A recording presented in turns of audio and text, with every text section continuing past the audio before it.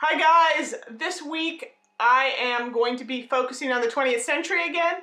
Um, I've already done a ton of World War II videos because they're really popular. Everyone plays World War II armies, but I still really wanted to focus in on some of the other battles and conflicts that happened during that century because it was a really busy one for that kind of thing. Uh, so this week I'm going to be doing the, the prequel to World War II, if you will, which is of course World War I, and arguably one of the biggest catalysts for World War II happening in the first place. It's also sort of a commemorative year for World War I, so there's a lot of attention being paid to it right now on television and on the radio and books and things. Um, I have picked out this figure to paint. This is a um, British officer figure from Renegade Miniatures. So yay, a new manufacturer I haven't ever done before. He is a nice, beefy, chunky kind of figure, which is the kind I really enjoy painting. Um, and as you probably know, most uniforms from World War One, or at least the sort of normal uniforms, were fairly drab. Um, that's definitely when uniforms started to become more practical and a lot less flashy than they had been in the 19th century. So this tutorial is going to have a lot of painting brown in it because it's a British uh, um, soldier. And this guy's also wearing a lot of leather equipment. So I'm going to try to put an extra focus in this video on painting leather because, you know, I've done lots of little detail bits previously that are leather in my videos, but I've never really um, handled larger areas of the stuff. So I'm to be trying to do that here. And also, um, give you some alternate color choices for your leather because I've been kind of sticking to one sort of variety of leather. So, I, you know, I want to show you other ways you can paint leather if you need to have some variation in here. Um, otherwise, this should be a fairly straightforward figure.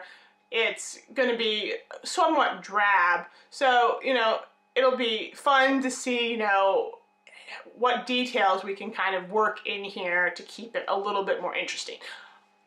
Uh, as usual, I have already gone ahead and applied my enamel base coat to this guy, and I've already painted his flesh and skin and also his uh, hair and mustache. I painted the hair and mustache using black with a, and the Foundry Charcoal Gray triad, and then I gave it a wash of Nuln Oil to darken it up a little bit further. I was extra careful this time painting the flesh. I thinned down my colors uh, very carefully when I applied it. I took, in other words, I took more time than I sometimes do when I'm painting skin for these tutorials. So I think that should, you know, produce better results. And that's something to think about if you're planning to paint some figures like this that are kind of drab, that don't have lots of color or kind of, you know, interesting equipment going on. You probably want to think about focusing more on the face and skin and spending more time to make sure you get a good result because in lieu of color and other details, the face is usually going to be the focal point of the figure. So it's on figures like this, it pays to make sure that that part is very well painted. So, okay, I don't think there's anything else to add, so let's go ahead and get started. Okay, so let's go ahead and get started with painting the jacket on our guy. Um, I looked at a lot of pictures of uniforms from this period, and my observation was that the uh, jackets that they wore were brown, but it was a very green shade of brown. So, in order to um, create that, um, I am sort of making my own uh, sort of triad up because I didn't really have one that was just perfect for this. So, as a base coat for his jacket, I have mixed some bay brown shade from Foundry with some raw linen shade from Foundry. And the bay brown should be the sort of the majority in that mix. So it should be mostly bay brown with some raw linen in there to basically green things up a little bit and also lighten the color. Next, I'm going to apply a pretty heavy Agrax Earth Shade wash over top of that so that I can get um, darker color down in all of the recesses. When the wash is dry, I'm going to start applying the first highlight shade to this jacket. And for that, I'm going to once again use a mix of raw linen shade and um, bay brown shade. However, I'm sort of going to reverse the proportions of the mix. So it's going to be mostly raw linen with a small amount of the bay brown in there just to darken it down. And I'm going to put that pretty much all over the jacket in a pretty even layer. Um, I have to thin the paint down some, so I'm going to be layering it a bit, but I'm going to be pretty heavy, and I'm going to really apply it everywhere except in the deep folds and creases of the uniform, as you can see. Also, don't forget to do the bill of his hat. That should also be the brown color. I forgot, and I had to go back in later and paint that brown. It's no big deal, but do remember on these uniforms that they definitely have a brown uniform colored bill on their hats. I'm now going to continue the layering process by applying a mix of the raw linen shade color with British equipment canvas shade, and that's a very sort of um, greenish, kind of yellow shade, which is the color that we really need to get into this jacket. And I'm going to apply that um, lightly all over the entire jacket and build up some additional color in areas that I want to get a little bit lighter. And now I'm going to highlight further using just pure British equipment canvas shade and I'm going to, as you can see, start applying that to the tops of folds and creases and to the edges of sleeves, all those usual areas, and applying it there very heavily and sort of blending and feathering it out from those points.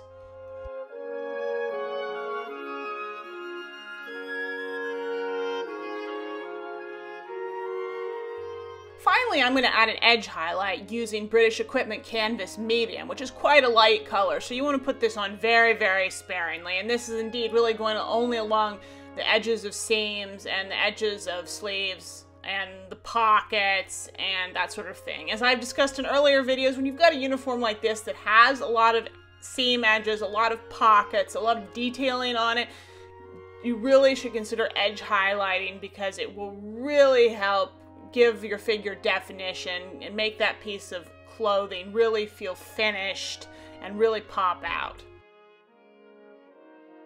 Okay, now I'm going to move on to his pants and also sort of the collar of his shirt that peeks out from underneath his uniform jacket.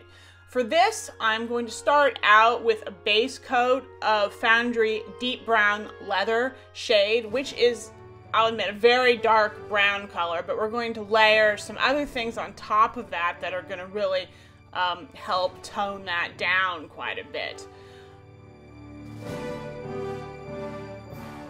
I'm now going to start layering on Foundry Spear Shaft Medium. Now this color is substantially lighter than the color that we used as our base, so you're going to find yourself applying quite a few layers here to get good coverage. But at the same time, you're also probably going to find it easier to develop, you know, brighter areas and shade areas at the same time because you can, you know, just build up paint over those parts that you want to feel brighter. Now I'm going to add yet another highlight layer, this time of um, buff leather light. Um, and this is when you're going to really start to see the pants appearing the color that we were going for in the beginning, which was sort of a, a, a very sort of brownish, warm khaki color. Because if you look at uniforms from this period, you'll see that while the jacket is very green khaki, the pants tend to be a much more brown, reddish, warm khaki color. Then for one final highlight, I'm going to go ahead and take Foundry Flesh Light, and I'm going to apply that onto the areas that would really be getting hit with a lot of light. So, as usual, places like the knees and the tops of all the sort of rumples and creases around, particularly the base of these trousers. Next, I'm going to move on to some of the leather areas on this figure. And as promised, I'm going to give you two different shades of leather on this figure because there's so much, we need to keep it interesting. Um, and the one area that I'm going to work on first is his boots and also his satchel bag. And I've decided I'm going to make these areas a much redder leather than I sort of normally use when there's only really a small amount of leather that needs painting on the figure. So to start out, you want to base coat these areas using the Foundry Conker Brown shade color. And when that's done, I'm going to give all these areas a really nice heavy wash of Agrax Earth Shade to sort of darken down in all of the creases and folds.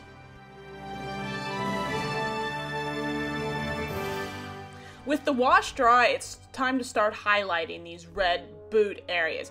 for that, I'm going to start out with an initial uh, highlight of um, Spear Shaft Shade because that's a nice um, red-brown color. Once I've applied that, I'm going to next add Chestnut Medium to the mix, and I'm going to put that on the edges and kind of blend outwards, and also areas where I want a lot of light, like on the tops of his calves. This color is quite a bit lighter than the last shade, so you're going to want to spend a certain amount of time blending and feathering this out so that you don't get it too strong. And um, at this point, you can start thinking about distressing the leather a little bit because things like this are going to get some wear and tear and obviously the lighter colors on such leather equipment are going to appear on the areas that are getting worn and rubbed and the like. So one way that you can think about applying these colors is by making very fine little lines, hatch marks back and forth over the surface which will make it look like the leather is scratched and is worn and been abraded in a natural way.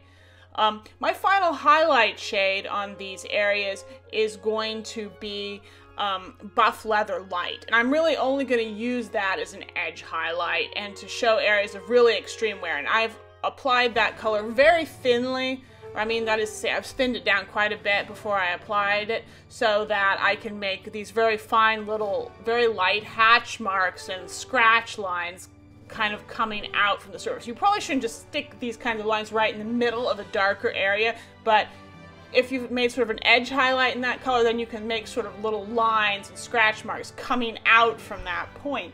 And I'm going to do that especially on areas like his straps and the edge of his satchel, the bottom sort of the satchel. Fo really focus on areas where you know that bag would have gotten a lot of wear and tear and, you know, you can kind of have a lot of fun with this, just applying these little lines and sort of building them up over the much darker colors. And it creates a really nice, very sort of believable effect. Alright, so now I'm going to move on to painting the other leather areas on this figure, and I'm going to be using the more traditional color combos that I use when painting leather. Um, I'm going to start out with a base coat of German camouflage black brown from Vallejo. And I am going to apply that to his holster uh, for his pistol, um, his equipment pouches, his belt, um, also the sort of straps that are, or sort of leather suspenders, I guess, that are holding the belt and equipment pouches in place. And of course, don't forget the little band that he's got on the front of his hat in between the bill and the top part. I'm now going to highlight all of those areas using um, Bay Brown Light, which is a very red brown. It's really pretty and it, it looks really, really good over this extremely almost black shade of brown that we applied as the base coat. And you can apply this pretty generously. Um, as I've discussed in other tutorials, uh, pick one direction, uh, one like an edge of whatever you're painting and sort of apply the color thickest there and sort of feather it out because we don't want to get rid of that nice deep base coat entirely because that's really what makes it look like real leather that you've still got those really deep color areas.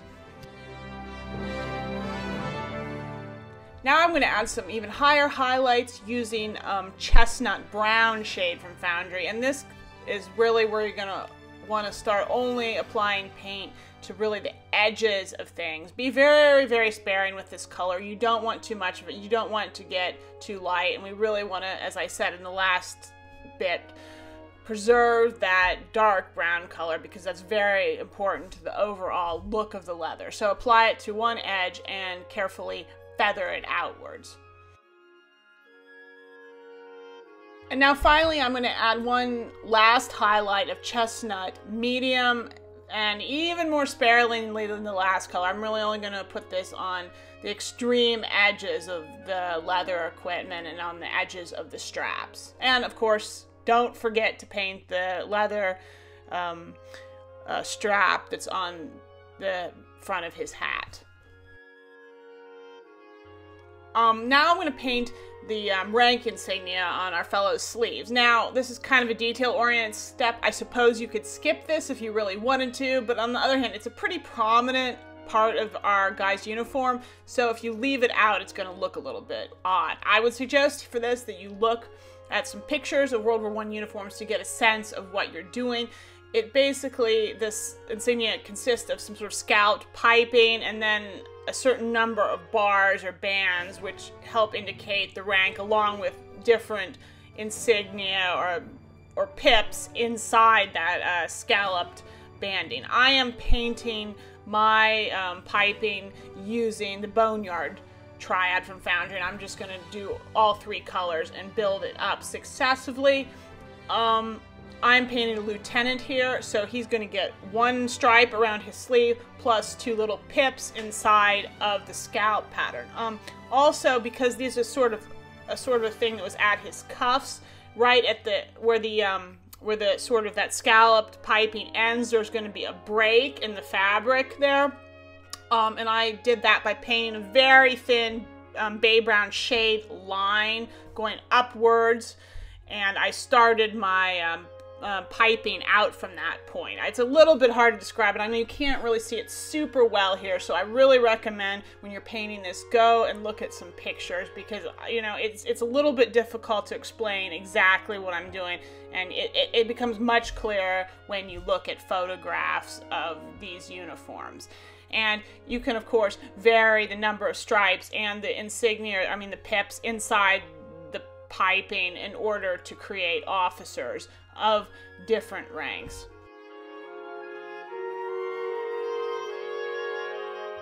And now I'm going to paint all the metal buttons and buckles on this uniform. Um, I am going to be making these kind of goldy brass, so I'm going to be using a base coat of um, Vallejo um, German camouflage black brown with some bronze mixed into it. A lot more brown than bronze, obviously, for the base layer. And this needs to go on all of his buckles and all his buttons, and you know, it's pretty obvious. And his cap insignia might be bronze-ish, it might be silverish, so you need to check what unit you're painting for that. Um, once I'm done, I will then apply a highlight of just uh, pure Vallejo bronze, and then followed up by a high highlight of um, Vallejo Old Gold to all the areas that I feel really need to feel, you know, well, extra shiny, I guess.